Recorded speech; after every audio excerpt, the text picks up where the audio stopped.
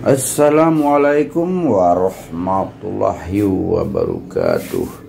Saya ini kedatangan sebuah handphone Nokia dengan tipe 1208 atau RH105 Yang mana handphone ini usianya sudah hampir 12 atau 13 tahun ya. Yang mana handphone ini sepertinya ada kerusakan pada tampilan LCD atau yang bisa kita sebut adalah blank LCD nah ini kelihatan seperti biru. Handphonenya hidup tapi tampilan LCD nya sepertinya berwarna biru. Nah langkah pertama yang kita harus lakukan adalah membuka handphone ya tentunya. Jangan sampai tidak membuka handphone. Yang kedua nantinya kita akan melakukan satu proses.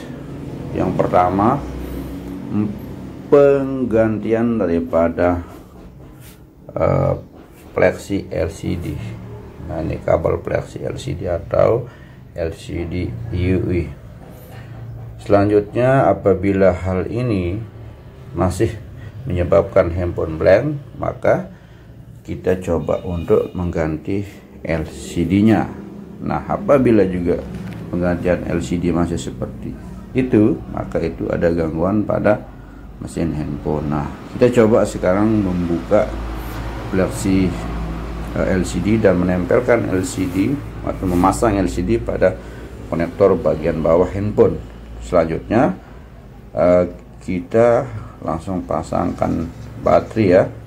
Pasangkan baterai untuk memastikan kerusakannya uh, atau kerusakan kerusakannya lah gitu kan apa mungkin terjadi di LCD atau fleksinya. Ya ternyata ini handphonenya hidup ya.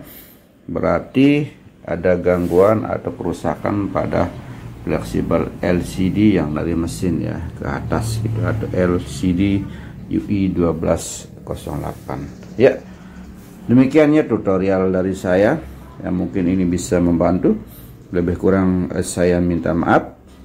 Wabillahi taufiq wal hidayah Wassalamualaikum warahmatullahi wabarakatuh. Selamat mencoba dan semoga bisa bermanfaat bagi uh, para pemula ya yang bergelut di bidang handphone. Ya, ini saya coba lagi sekali ya. Sepertinya bisa. Iya, inilah uh, sumber atau penyebab terjadinya terjadinya kerusakan ya yang menyebabkan LCD blank. Ya demikian ya semoga ada manfaatnya